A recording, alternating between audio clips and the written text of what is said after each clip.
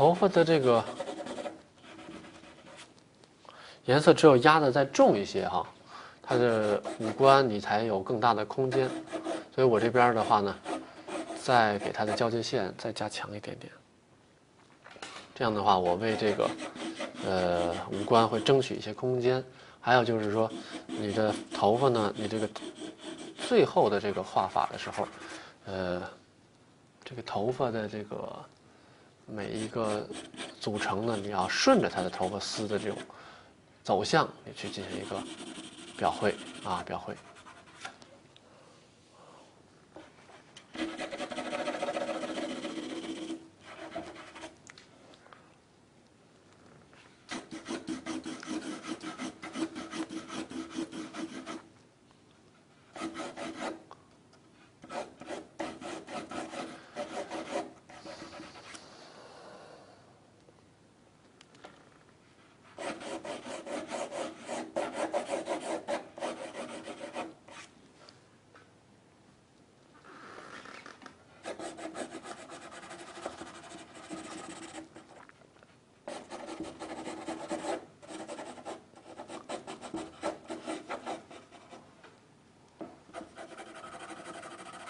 包括头顶这些重色，是吧？还是要压住，要不然的话，它头发就转不过去，进不去。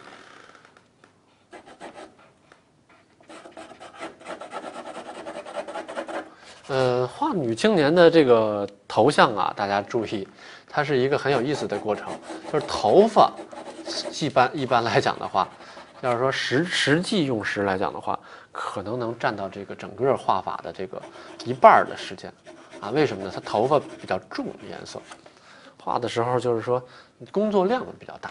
你可以看到脸上实际上很多的其他的地方的这种工作量来讲，相对没有头发这么大啊。就是你实际在实际在画的过程中，都是在画头发比较多啊。其实脸会很快就可以画完啊。但是呢，效果来讲的话，你没有这样的头发做一个很好的衬托啊。发型哈衬托，甚至这个脸也是黯然失色的会。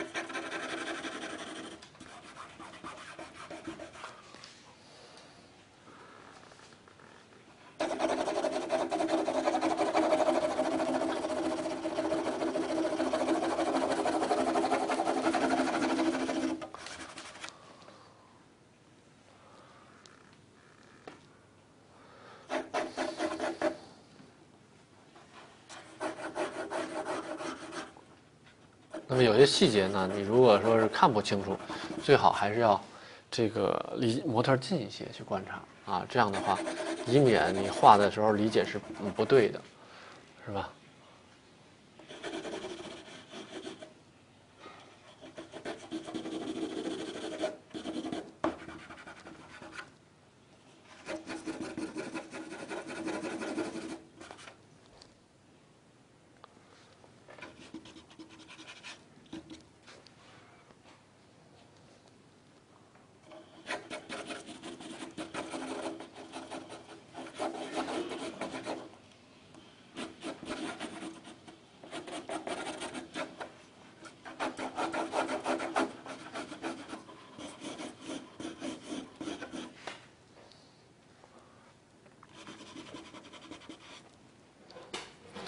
包括比如肩从肩到后面的实和虚的关系，是吧？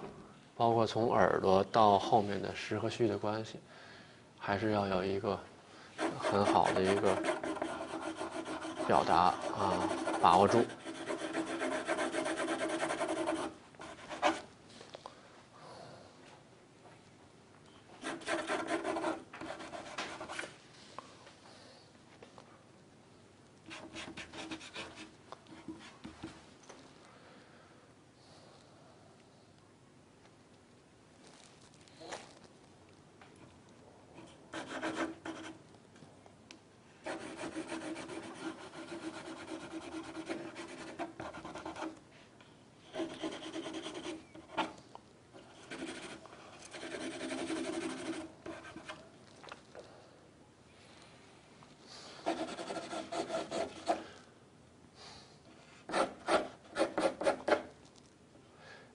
呃，画到这个大的体积感出来以后，哈，检查一下头的大的体量、空间关系，啊，把交界线，比如说这种头发的这些大的转折线，是吧？再强调强调，为什么呢？怕你的这个头的正面啊、顶面啊、侧面呀，这种的就就不强了，感觉，啊，你再强调强调，这种，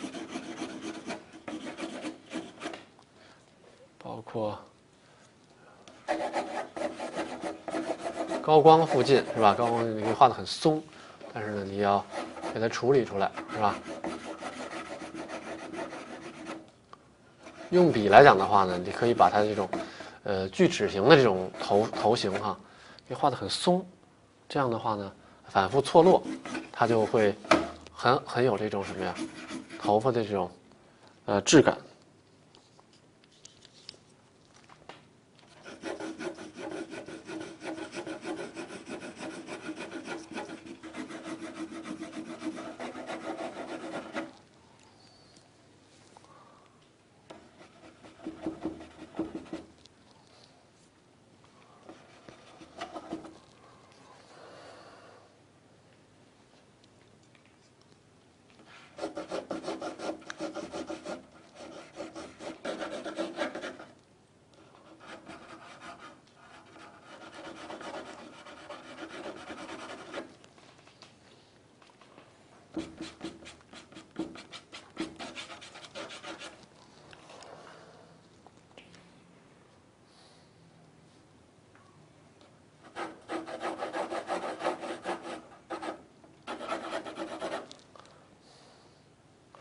头发啊，包括五官，都是最精彩的地方啊，一定是留在亮部交界线啊。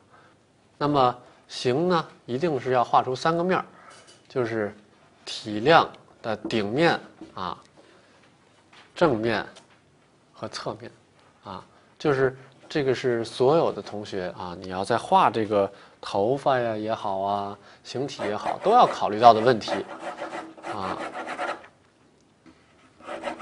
很多的时候说是质感多重要，其实质感我们来看的话呢，呃，都是放在形体理解的后一位去评价的啊，去评价的。就是你批分的时候，比如说你质感上差一些，但是你的结构很好啊，这个大的这种颜色关系很对，其实这种就已经是分数就很高了啊。实际上质感对于这个批分来讲的话呢，它不是只这个决定性因素啊，不是决定性因素。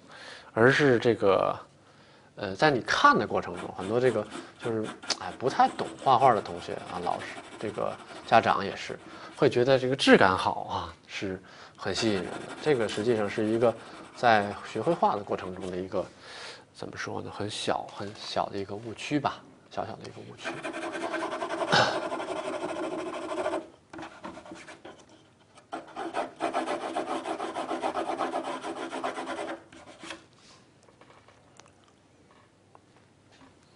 那么前面的这个刘海呢，也是注意把它的这个交界线高光挤一下啊，挤一下。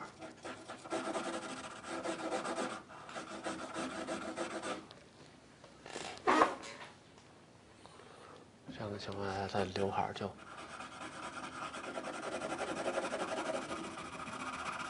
比较有层次了。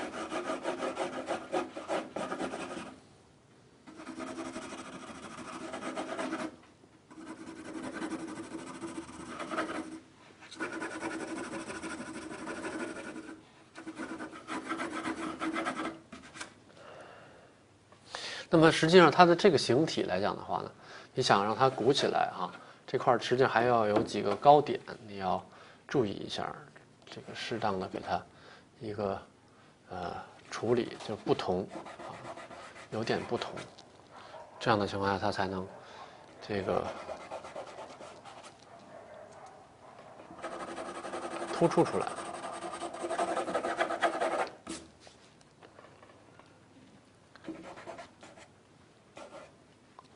包括下面的是，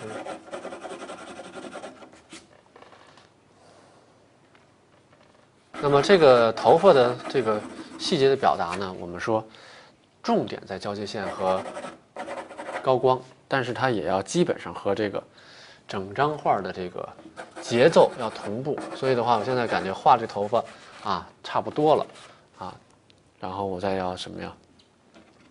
结合整张画的这个。这个五官呀，包括这个呃其他的部分呢，进行一个综合的一个深入。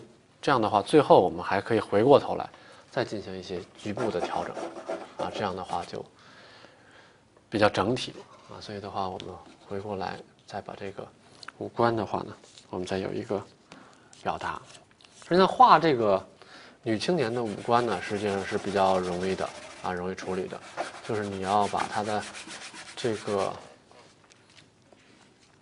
叫浮雕感啊，浮雕感画出来。什么叫浮雕感？实际上画五官啊，说是在画体积，画画体积，但是呢，实际上最简单的理解就是先把它先画出三个面儿啊，先画出三呃，至少是两个面儿啊，比如说这个厚度啊。比如说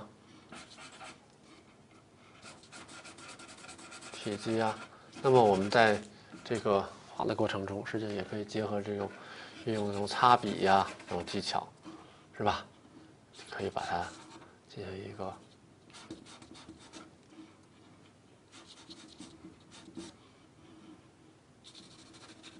那么以前的话呢，这个我接触过的这个。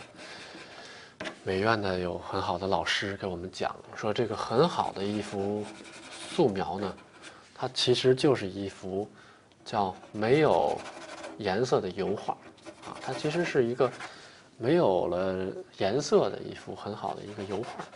所以你画的过程中，实际上你在画的时候，你就把很多的油画的对于结构啊、对于形体啊这种理解啊。或者对于整个这种造型的理解，其实你可以融入到这个表达这个素描的过程中，实际上这个也是很很有帮助，使这个我们比如水平相对来说高一些的同学，也是可以得到一个很好的一个提高啊。包括我们其他的颜色，都要跟上。